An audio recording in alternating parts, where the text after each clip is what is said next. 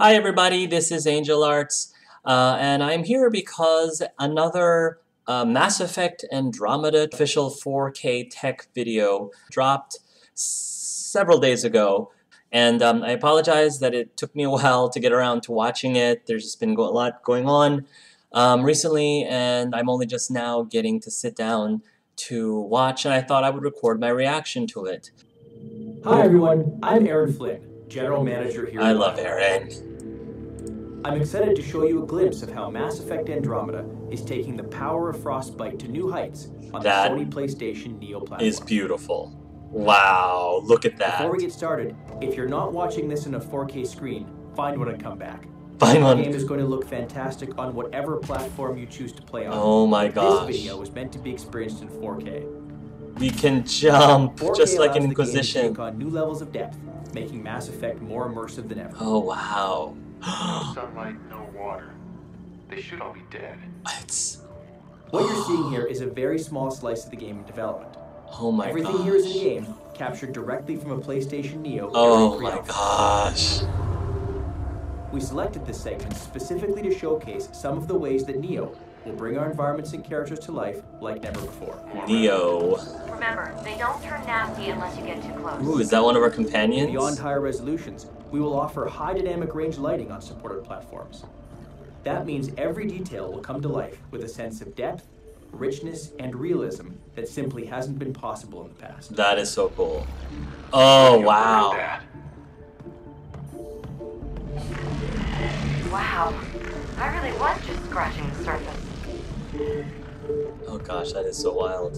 It sort of reminds me of. Uh, oh gosh.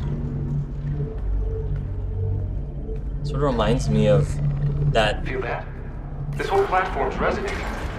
Something. It must be close. one thing in the Fallout 4 DLC when you're in the in the computer world, like you're in the Tron No world, sort of, but better. This is the heart of the vault. Vault. I know Fallout. There's another Fallout reference right there. We there. leave you now with a cutscene where you can really see our characters up close. Oh, now this is Be sure to tune in on November 7th when we'll premiere our brand And new trailer day. and officially open the doors to the next chapter of the Mass Effect universe. We get to see a. Oh, nice. We get to see a cutscene of our character, hopefully. Oh wow. Are those those are our companions? hey, why does he look like The Clive? Heleus cluster? Why does he looks just like Clive? There we are. All these points could be vaults on other worlds. Almost the spinning image. Hey, That's it. Look Clive there. is canon. the whole place is lighting up. Ah, okay. Power readings are off the chart. Really off the chart. But if it's back online, we should be good. Seriously. Oh, now what are those things? Okay, so I recognize the Asari, but I don't recognize. I don't think I recognize the other companion. Ah, it's right on our heels! Beautiful. Nice. Oh, nice. Everything looked gorgeous. Everything looked smooth. It, it really did, um, you know, when you jumped from Dragon Age 2 to Dragon Age Inquisition, this was the same feeling going from Mass Effect 3 to Mass Effect Andromeda with the Frostbite engine, um, getting to see you go around exploring things, scanning things. Again, it kind of had a Norman Jayden from Heavy Rain kind of feel to it.